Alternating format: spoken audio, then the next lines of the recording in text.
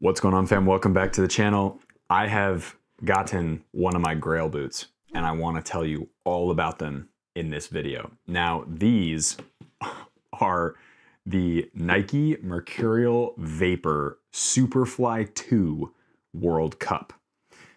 You've got this absolutely beautiful orange and silver box. This is like, this is, I, I'm a little bit speechless here. This is gonna take me a second because these boots are brand new. They're in the box and they're absolutely unbelievable. Like unbelievable.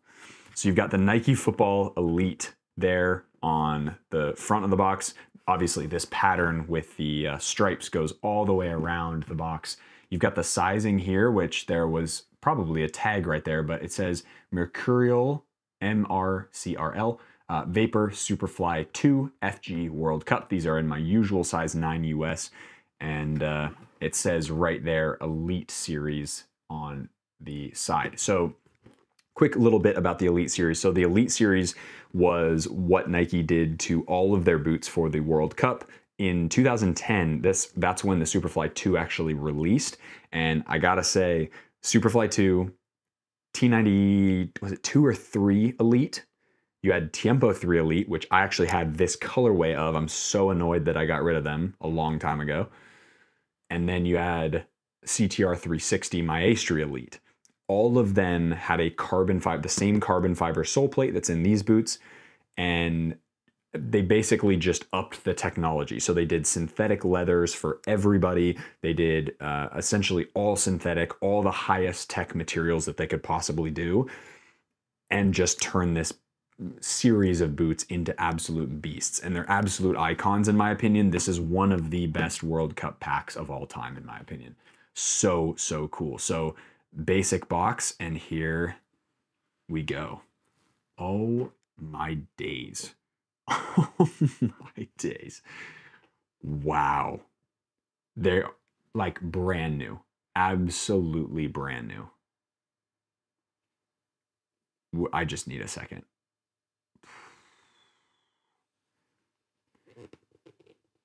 Holy shit. Okay, well, I don't even know if I want to get them out of the box. They're just that good looking. Okay, well, let's do this. Let's push that a little bit forward into the side, and then you can have a view of these ones. These do come with the iconic drawer style box or the lunchbox style, uh, which is great. Uh, actually, I have a doorbell ringing. One sec. Okay, we're back. Let's jump straight back into it. Okay, so this is an absolutely stunning football boot for many reasons. Obviously, the colorway is one. Now, this colorway is I think back in the day was very polarizing. Some people were like, what the heck is Nike doing? Other people were like, this is awesome because it's iconic. This colorway was advertised as basically you're gonna be able to see your, the, the heel and your, the contrast of these colors was like scientifically proven to be able to see it faster on pitch. And it's like, that works if everyone on your team is wearing these and the other team isn't but that's not how football boots work, right? So uh, it, it just was very funny marketing that they went for that way. But honestly, I think this like purple silver metallic colorway looks absolutely unbelievable. So let's go over some tech specs of what makes this boot so special in so many ways uh, and, and potentially why it's notoriously horrible in a couple other ways. Now I'm gonna take these, oh, there you go. See, look at that. Oh my goodness, that is rough in this in the uh, forefoot area. Okay, so let's talk about tech specs of this football boot. As I said, launched in 2010. It came uh, basically after Superfly 1, which was an insane pair of football boots. It was like no one had ever seen anything like it before. Absolutely insane amount of tech in that for the time. These originally retailed for 400 US dollars, which is absolutely ridiculous obviously the tech of the time people justified it because it was like the boot you had to have if you fit in it. They were notoriously uncomfortable because of this upper. So this is an ultra thin well ultra thin in quotations. It is quite thin to be fair.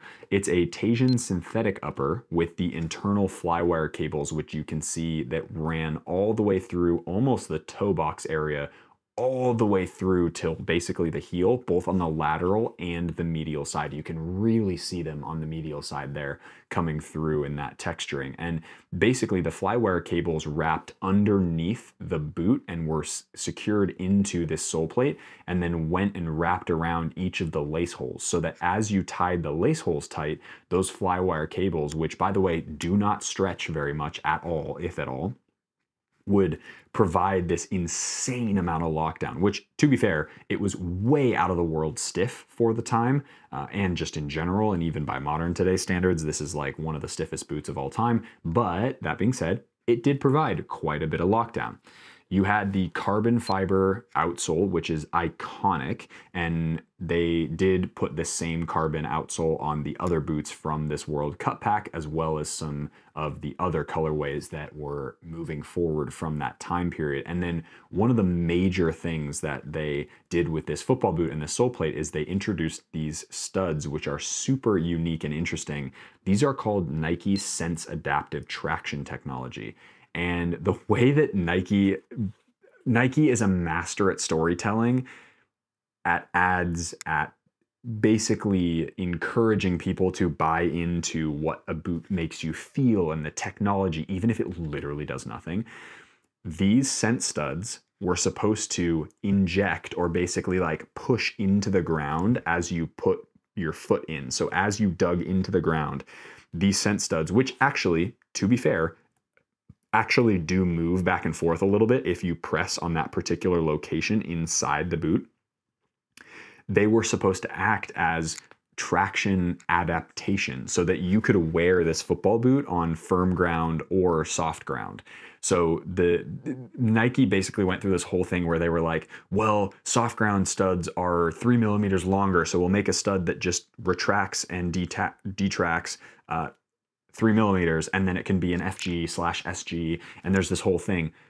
I know it sounds insane to me, but these studs did look really cool, and frankly, they function just fine. You had the rest of these bladed studs, which all, of course, were bored out holes to save the you know minuscule amount of weight that was uh, in in those little holes on the sole plate uh, and in those studs. But these were sort of the attraction other than the upper and the fly wire. So you had the carbon, obviously, which was on Superfly 1 as well, but these studs were like the main attraction outside of the fly wire. You had the 3D foam packaging around the heel collar, so that just provided a little bit of relief from the pressure that these boots kind of put you in. You have an internal heel counter that basically makes this heel area completely stiff. There is no way you are going to get any sort of adjustability from this heel. So one of the things that made this boot iconic was actually how uncomfortable it was. And one of the things that a lot of people did, you saw Cristiano Ronaldo when he first got his pair doing the hot water trick. So this is the boot basically that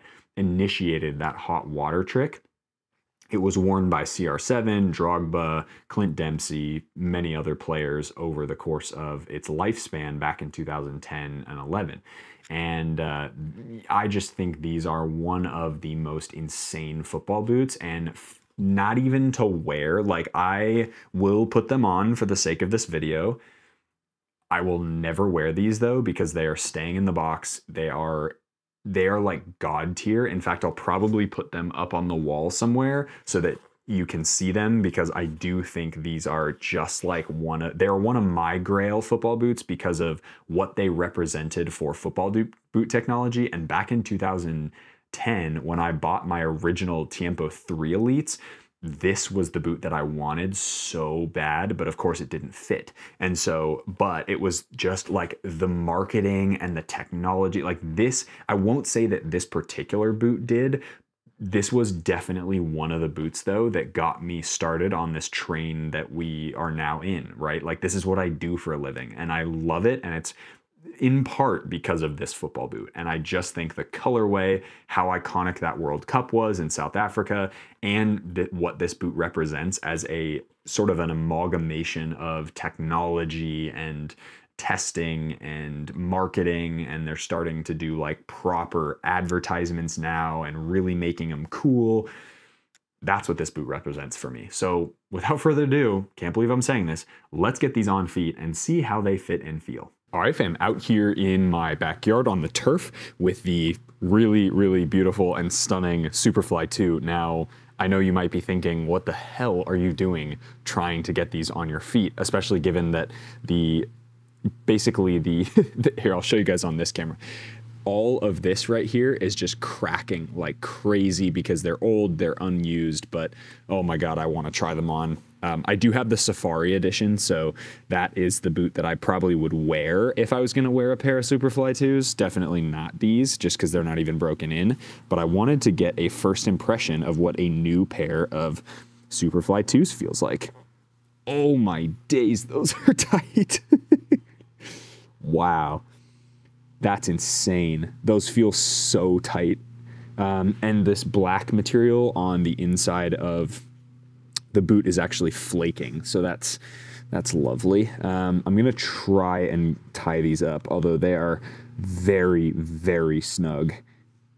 Goodness. Okay, there we go. See if that works better.